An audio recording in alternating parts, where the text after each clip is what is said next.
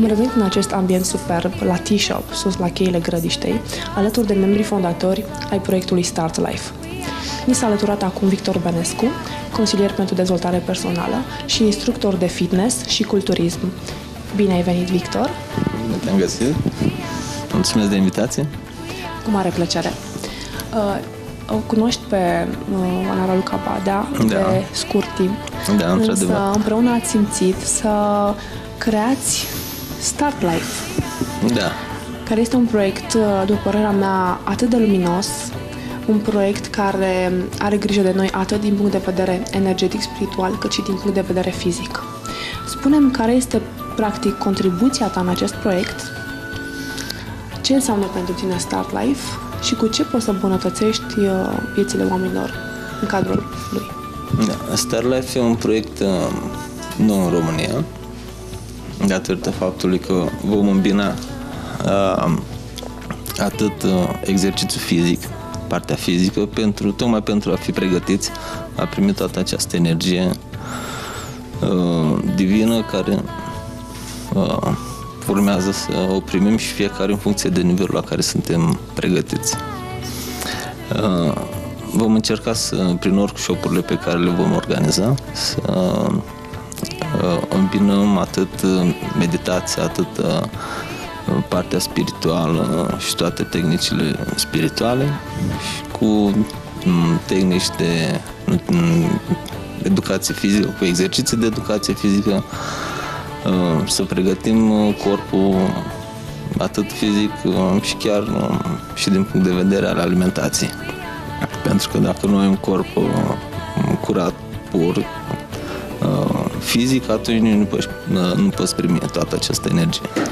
Eu am participat la un astfel de workshop, deci vorbesc chiar din experiență personală și am văzut cât de mult contează și ce importanță poate să aibă înrăurirea dintre exercițiile fizice și cele spirituale, între rugăciune și destinderea fizică, pentru că în momentul în care primim energie, uh, avem nevoie să ne descleștăm uh, absolut întreg corpul fizic, musculatură, tendoane, articulații exact. și este esențial aceste exerciții, cu toate că sunt de, de foarte mulți dintre noi ignorate, sunt esențiale în acest proces al ascensiunii um, spirituale. Da, nu întâmplător și yoghinii pe lângă uh, meditația pe care o fac, uh, fac și exerciții uh, acelea sane, uh, tocmai pentru a putea primi și beneficia de efectul meditației. Și foarte important este de asemenea și alimentația. Iar alimentația acum e o modă să fii vegetarian. Dar foarte puțin simt asta din adâncul lor. O fac doar că așa e la mod.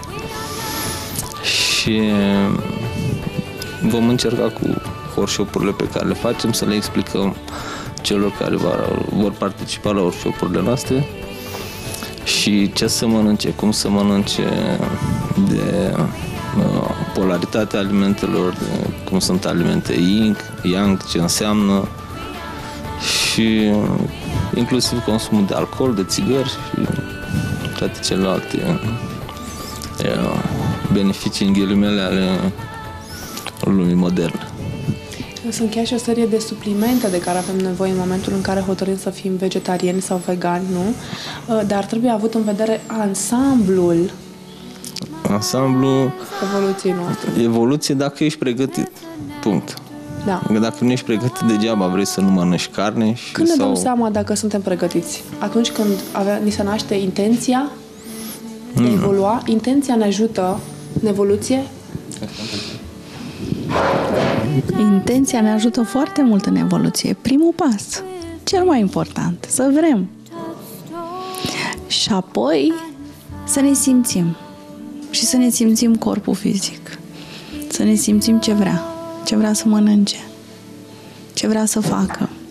În perioada asta de transformare, corpul fizic are nevoie de mult mai mult somn, de o hidratare foarte bună, de o alimentație foarte bună, excluderea chimicalelor și așa avem un aer poluat pe care îl respirăm, contează foarte mult corpul fizic. Vezi, până acum mulți care suntem pe calea ascensiunii ne-am îndepărtat de corpul fizic. Acum a venit momentul să integrăm corpul fizic în această ascensiune. Este un must a integra corpul fizic. Suntem aici pe pământ, în acest corp fizic și e momentul să-l lucrăm. Să-l iubim, să-l respectăm, Exact. Exact. să-l lucrăm sub toate formele. Da. Uh, Tu, Victor, cum uh, te-ai gândit să implici sportul în acest proiect Start Life? explicându-le oamenilor despre importanța mișcării, uh, chiar uh, voi alcătui un program uh, în care anumite exerciții, pentru că în general nu toate persoanele sunt obișnuite cu sălile de sport, cu atmosfera de acolo, un program de exerciții care se poate face și acasă, pe lângă meditație, să pot să îmbin și exercițiile fizice, exerciții simple la îndemâna oricui și un program de alimentație cât mai naturală, dar asta numai dacă simți că poți să faci asta și vrei. Acest program este deci unul personalizat. Unul personalizat, da. Foarte Pentru că asta personalizat. contează foarte mult. Când intri în contact cu persoana, tu poți să-i spui de cele mai multe ori exact Exact de ce are Ce- de nevoie. ce are nevoie. Pentru că uh, și o alimentație deficitară de multe ori uh, ia naștere datorită unor uh, deficiențe de natură spirituală. Exact, aici Adică- vreau să ajung. Da.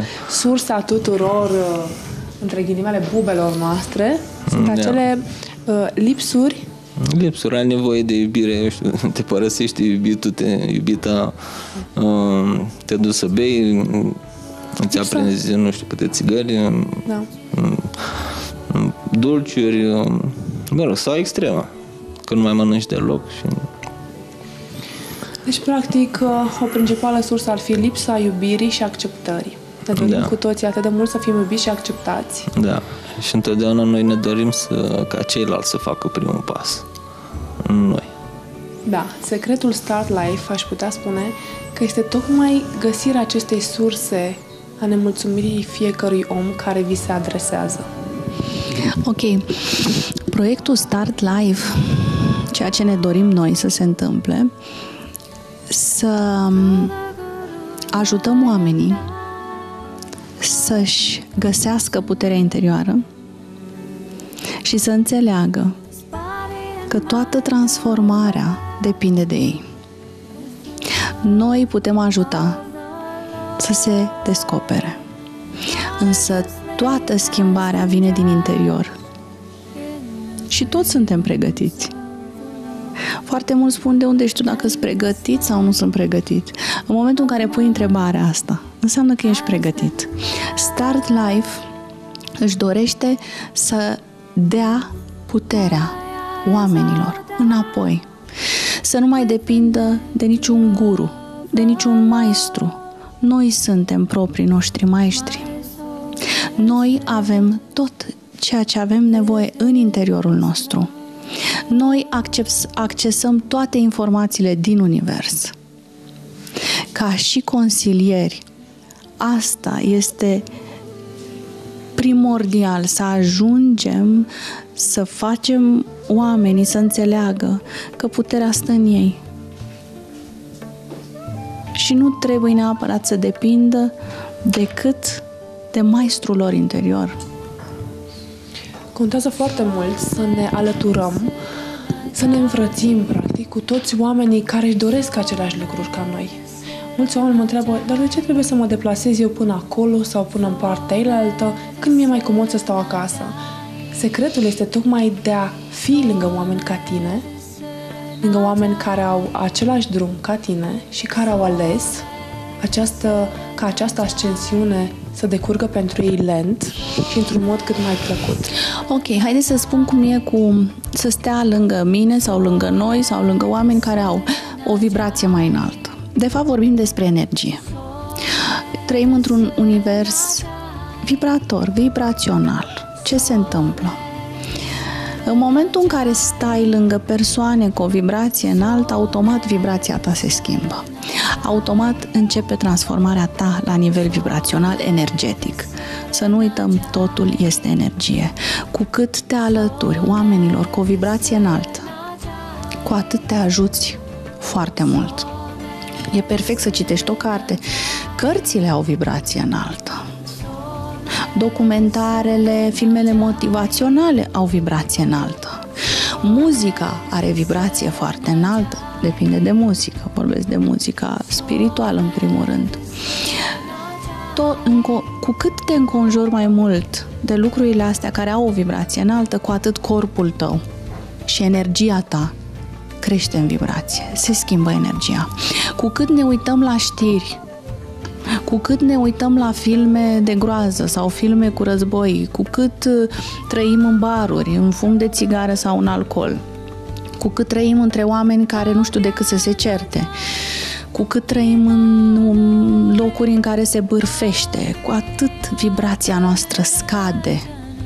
Oricât de mult ne dorim, atâta timp cât ne înconjurăm de această vibrație, nu putem să facem nimic. Trebuie să înțelegem foarte clar ceea ce gândim, cu cine ne înfrățim, unde trăim, ce ascultăm, ce mâncăm, totul contribuie la vibrația noastră. Dacă am pornit pe acest drum al ascensionării, trebuie să fim conștienți de ceea ce facem și să alegem conștient cine stă lângă mine, cine nu stă lângă mine, ce mănânc, ce beau, ce privesc, ce ascult. Tot procesul ăsta este un proces conștient. El nu se întâmplă decât dacă ești conștient de tot ceea ce faci și în primul și în primul rând de tot ceea ce gândești. Gândim ceea ce devenim, dar mai uh, devenim și ceea ce facem. Uh, spune-mi, uh, Victor, da. te rog, cum te-a ajutat pe tine conștientizarea a ceea ce ești, cum te-a ajutat pe tine experiența ta de viață să ajungi în punctul în care ai ajuns. Spune-ne câteva secrete ale propriei tale ascensiuni ca ființă umană.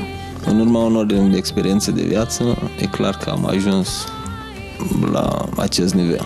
Și chiar și mm, în meseria de consilier pentru dezvoltare personală, fără a avea propriile tale experiențe, nu poți fi un bun consilier. Pentru că, efectiv, nu știi ce să le spui oamenilor care vin la tine să-și ceară ajutor. Indiferent poți să citești um, câte cărți vrei, dar experiența personală e cea care contează cel mai mult.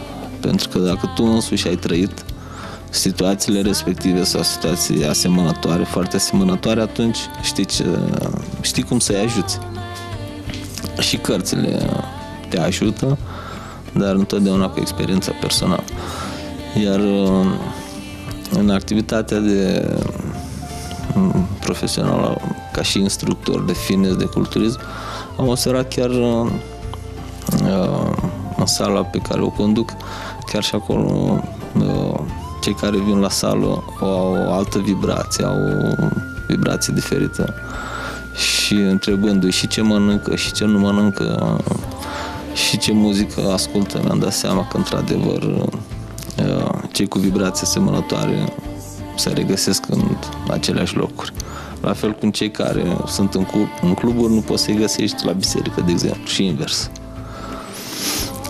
Că dacă te duci accidental așa, când și când e ok, dar uh, de obicei clienții frecvenți ai cluburilor, n-ai să-i găsești niciodată în biserică sau, mă rog, în locuri de rugăciune, de chiar și la Sinaia, la Bucegi, unde sunt locuri, unde energia locului e mai puternică.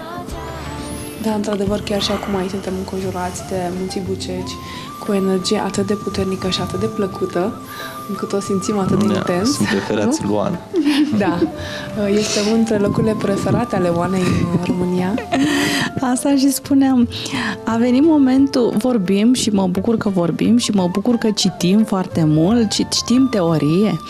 Însă eu uh, sunt convinsă că a venit momentul să practicăm.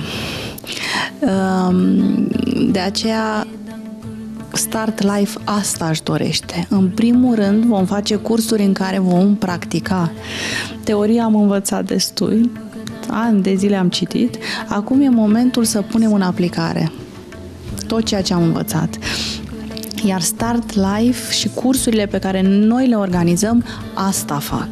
Lucrăm cu noi, concret. Primim energie, ne eliberăm de programe, lucrăm corpul fizic, învățăm să respirăm, foarte important, prin respirație primim tot ceea ce avem nevoie, deci e momentul să lucrăm cu noi. Aici o energie extraordinară, țara noastră are o energie extraordinară, munții Bucegi, știm, sunt niște locuri magice și avem atâtea locuri în care putem să ne deschidem și să lucrăm cu noi. Atât de multe oaze uh, de liniște și de lumină în țara noastră. Uh, cum beneficiem uh, de darurile naturii, cum ar fi soarele și luna, care au energii specifice și energii atât de puternice? Exact asta facem în timpul cursurilor. Învățăm oamenii cum să acceseze energia solară, cum să acceseze energia tuturor planetelor. Toate planetele ne oferă energia unică a lor. Pe lângă asta, acum suntem înconjurați de foarte multe ființe de lumină, uh, frații noștri de pe alte planete. Vrem sau nu vrem să acceptăm, asta este realitatea. Suntem înconjurați și suntem ajutați de ființe din uh, alte galaxii. Um, și ca atare, în timpul cursurilor, asta facem. Accesăm energiile lor, accesăm energiile planetelor și simțim ce înseamnă cu adevărat să trăiești într-o vibrație înaltă. Cum o simțim aici, cum uh, la toate cursurile pe care noi le susținem se simte vibrația înaltă. Asta poți să spui și tu cum te simți. Um, oamenii simt. Au început să simtă. Nu neapărat că facem noi ceva, dar noi creăm un spațiu, un spațiu magic în care se întâmplă această magie a energiei. Oamenii chiar simt puritatea din jurul la tot ceea ce faceți voi, pentru că toate persoanele pe care știu că au intrat în contact cu voi au rămas în contact strâns cu voi. Și cred că asta spune foarte multe. Uh, spune foarte multe despre proiectul Start Life, despre intențiile proiectului Start Life, despre lumina și iubirea care hrănesc acest uh, proiect al vostru. Exact. Start Life este un proiect pe care l-am făcut din inimă și care l-am făcut pentru inimi, pentru toți oamenii care ne înconjoară. Cursurile e un voastre? proiect din iubire. Cursurile voastre se desfășoară în Brașov, în București, Focșani. Focșani. Și peste tot pe unde suntem chemați și invitați suntem deschiși. O să avem și în Sedona anul viitor, să sperăm. Și vom susține și acolo cursurile, pentru că acolo avem frații noștri. și peste tot suntem pregătiți. Acum, cine e pregătit, îi așteptăm cu drag. Din nou, e un proiect din inimă pentru inimă. Pentru că ne aflăm în cadrul uh, ecuației frumuseții. Da. Uh, Victor, te-aș ruga să-mi spui pe scurt care este ecuația frumuseții feminine pentru tine. Uh, o femeie, în primul rând, trebuie să arate că se respectă pe ea și are încredere în ea. Și acest lucru se vede. Deci încrederea în sine. Încrederea în sine. Și se vede în absolut tot ce face, tot ce atinge, cum se comportă, cum vorbește. După care vine, bineînțeles, și aspectul fizic și acolo, bineînțeles, intervin mai mulți factori. Aici ne oprim la o parte a aspectului fizic sau aspectul fizic per total, nu? Aspectul fizic per total. Știi că bărbații preferă anumite părți ale corpului femesc, dar tu îl privești în ansamblu. Eu îl privesc în ansamblu, pentru că femeia nu pot să... nu are doar sân și fund. Sau doar ochi, sau... Da, o femeie trebuie să fie femeie pe ansamblu. Și în primul rând trebuie să fie inteligentă să uh, poate să să urmărească să își dezvolte personalitatea citind cărți participând la seminarii, la chiar ducându-se la un film, chiar, chiar și la cafea cu fetele. Și, bineînțeles, ce mănâncă, cum mănâncă și toate astea se văd. Pentru că, mai ales pentru femeie, e foarte important să fie atentă și la aspectul alimentației și, bineînțeles, a sportului. Pentru că cu vârsta, corpul ne spune, doar trebuie să fim atenți la semnale care le privim.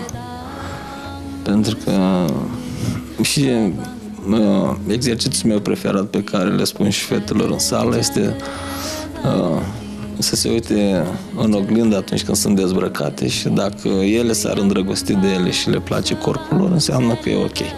Dacă nu, să vină la sală. Da.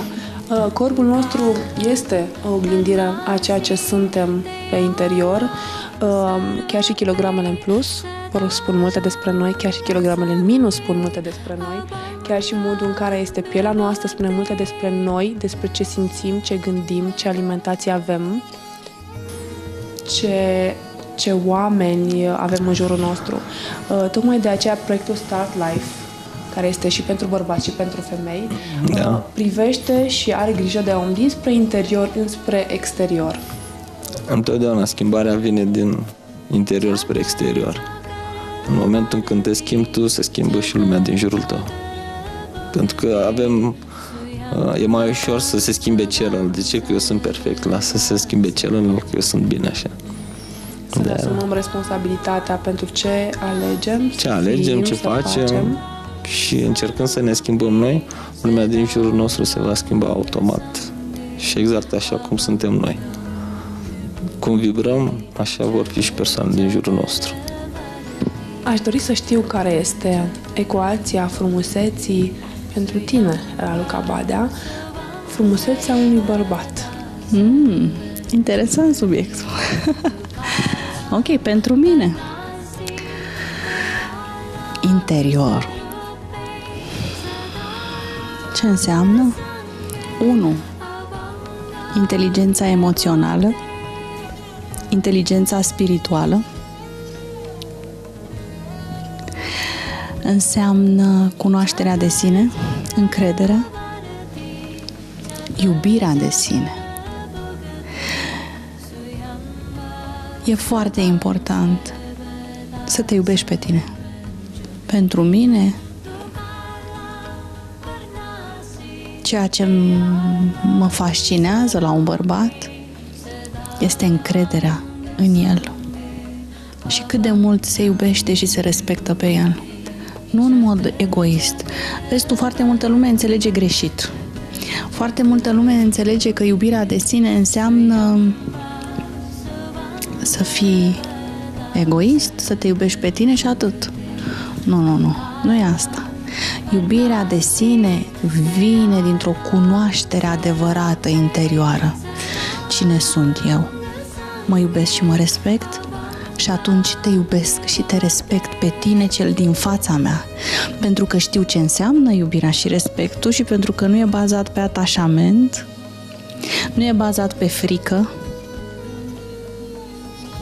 nu e bazat decât pe iubire, pură. Atunci când mă iubesc pe mine cu adevărat, atunci când știu eu cine sunt, atunci te pot iubi și pe tine, cel din fața mea, cu adevărat. Nu fals nu cu o mască și nu sunt nici dependent de tine, nu sunt nici atașat de tine, ci doar te iubesc. Pentru mine asta înseamnă. Asta înseamnă a fi bărbat. Asta înseamnă a fi femeie. Iubirea de sine. Acolo e ecuația frumuseții. Frumusețea interioară stă în cât de mult mă iubesc pe mine, în cât de mult mă cunosc pe mine, în cât de mult mă accept pe mine. Eu sunt cel ce sunt, așa cum sunt. Și apoi totul se transformă, ghiși ce, și corpul fizic se transformă. În momentul în care te iubești pe tine cu adevărat, totul începe să prindă lumină și iubire. Corpul fizic se modelează, după lumina și după iubirea pe care o scoți din interiorul tău. Deci, asta e iubirea de sine și cunoașterea de sine. Și știi cum pe oracolul din Delphi spune cunoaște-te pe tine însuți. Asta e. Asta e secretul. Asta ne-ar ocupa tot timpul. Da, pe de asta suntem pe pământ. Ca să putem evolua, care e misiunea noastră pe pământ? Să evoluăm. Ca să putem evolua, trebuie să știu de unde pornesc. Mai întâi mă cunosc pe mine, cel ce sunt așa cum sunt, Acceptăm Și tot încep. din jurul meu. exact, după care începe evoluția. Eu sunt cel ce sunt. Începe transfigurarea în iubire. Exact. Transmutăm toate energiile negative în lumină și în iubire. Asta e frumusețea. Din interior spre exterior. Viața este atât de frumoasă atunci când este condusă de dorințele inimii. Mhm. De iubire. Iar iubirea nu e ce... E iubirea, iubirea ne naștem cu ea. E o energie care există pretutindeni, există în aerul pe care respirăm. Numai că noi am condiționat-o. Și e momentul să înțelegem că iubirea este. Te naști cu ea. A, vechile programe umane spun că iubirea înseamnă atașament sau dependență. Total greșit. Atașamentul și dependență înseamnă suferință. Suferința ce înseamnă? Distrugerea umană. Deci nu, iubirea nu are nicio legătură nici cu atașamentul, nici cu Privim și să dependența. analizăm un astfel de program. Iubirea aduce suferință. Este E- pentru mine Exclus. Nu există așa ceva. Iubirea aduce armonie, iubirea aduce pace, iubirea este echilibru, nu aduce. Ea este, e un echilibru, e pace. Iubirea este o stare de a fi în fiecare celulă, prin ca și fiecare când am spune por. alb-negru. Exact. Iubire, dependență, suferință. Nu, nu are nicio legătură. Tu ce părere ai? Dependența aduce suferință, că iubirea este înțeleasă greșit. La fel cum e gelozia, cum o iubesc sau o iubesc, este a mea. Că nu mai e a mea, trebuie, atunci automat intervine suferința. Sau nu mai este al meu. Atașamentul. A, iubirea îl iubesc sau o iubește așa cum este. Dacă a plecat, a plecat. Dacă nu, în momentul în care uh, crezi că este posesia ta sau posesia lui, atunci apare suferință. Iubirea înseamnă libertate, nu? Absolută. Iubirea, libertate absolută. Vin persoane în viața noastră, ne învață anumite lecții, după care au plecat, sunt libere. Lasă-le să plece, le faci loc la altele. Poate mai avem lecții de învățat. Am inspirații întrebări despre sufletele pereche. Uh, Ce sunt sufletele pereche? Uh, Ce, sunt, ce înseamnă ele cu adevărat? Ce caută în viața noastră? Și cum să înțelegem plecarea lor din viața noastră? Sufletele perechi. Simți când uh, ți-ai găsit sufletul pereche, eu așa cred. E chestie care să simte, nu poți să cauți nici în cărți, nici pe internet, nici pe nicăieri. Doar simți. Simți cum rezonezi cu acea persoană, cum simți că îl cunoști de foarte mult timp și uh, Avem mai multe suflete pereche. Aici întreb uh, numele tuturor prietenelor mele, tuturor cunoștințelor mele, în nume propriu. Uh, am avut dilema asta foarte mulți ani. 30 de ani. așa. um, care în eternitatea nu înseamnă nimic, dar aici pe pământ 30 de ani înseamnă ceva. Uh, am avut această dilemă. Eu, sincer, în momentul ăsta nu o mai am, dar uh, las pe Victor să ne spună dacă avem mai multe suflete pereche pe pământ, dacă ele sunt doar sub o formă feminină, masculină, sau pot fi sub orice formă. Cred că pot fi și o formă feminină și o formă masculină, uh, fără să fac aluzie la orientarea sexuală. Da. Dar, dar uh, ca bărbat uh, îți poți găsi un prieten foarte bun care probabil în alte vieți ți-au fost frați, ți-au fost nu, tați, care te înțelegi foarte bine. E sentimentul ăla că orice ai face, orice ai spune, veți rămâne prieteni. Și cred că avem și suflete pereche de ambele sexe. Iar uh, suflete pereche de uh, natură feminină pot fi mai multe, dar pe rând. E bine să le luăm nu, nu toate odată. Ca tu nu mai sunt suflete pereche. Ce crezi? Ok, haideți să vă spun puțin despre sufletele pereche. Există familia de suflete, unde ne întâlnim cu cei din jurul nostru și există sufletele pereche. Sufletele pereche sunt uh, parteneri cu același nivel vibrațional.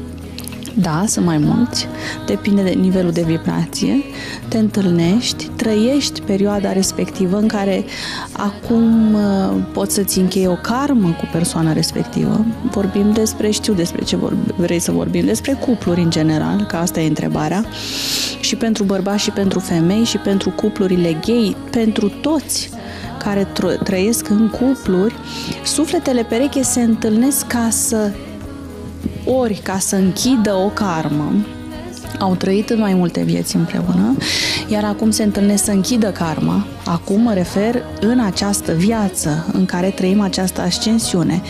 Sau se întâlnesc suflete pereche care încep fără karmă care încep fără karmă un nou drum, e un nou cuplu, sunt cupluri noi sunt suflete pereche care vibrează la același nivel energetic. Ce fac aceste suflete pereche? În momentul în care se întâlnesc, ei creează o energie magică în jur și au o misiune foarte clară să transforme energia din jurul lor și să ajute oamenii ceilalți să-și ridice nivelul vibrațional. Deci misiunea sufletelor pereche este misiunea lucrătorilor în lumină, doar că la putere mult mai mare. Întâlnirea între suflete pereche din păcate s-a făcut foarte greu până acum. Energia foarte înaltă care este la ora actuală pe planeta Pământ ne ajută să ne întâlnim cu sufletele pereche, doar că trebuie să fii foarte atent și să decodifici foarte clar mesajele, pentru că există și confuzii.